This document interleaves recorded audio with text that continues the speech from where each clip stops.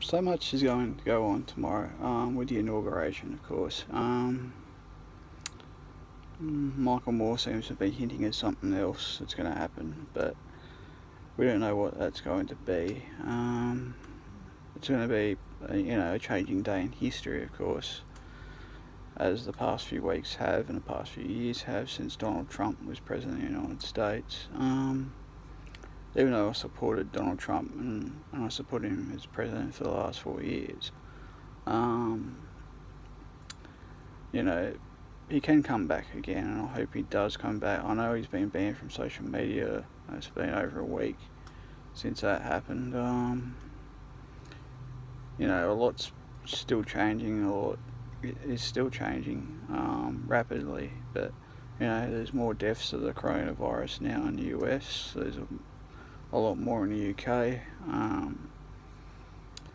you know, there could be some good things that could come about. Um, Joe Biden, of course, you know, um, with the fact that that he's going to be, you know, he's going to be abolishing the death penalty, hopefully, um, in the next few weeks, uh, once he's president of the United States, and once he's sworn into cabinet, of course. Um, and got all his, you know, all his secretaries ready as well. Um, you know, Secretary of Defense, Secretary of Commerce, and stuff like that.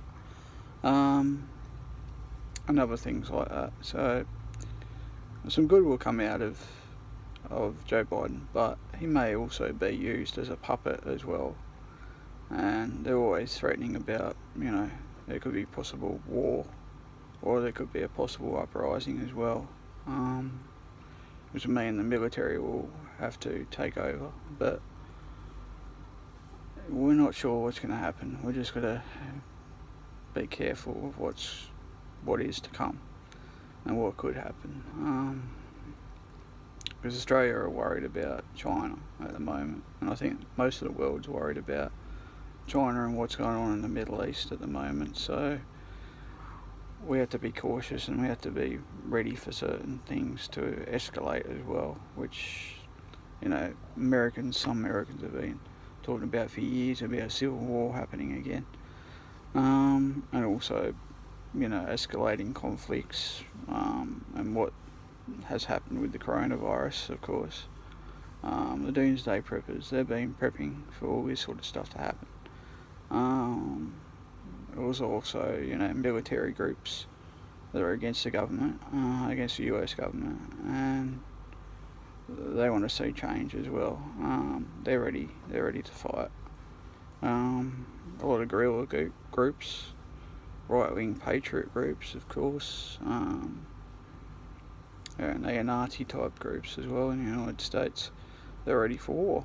Um, they're ready to attack the government as well because they believe the government has too much power and that Joe Biden is so corrupt and someone else is going to control him as well.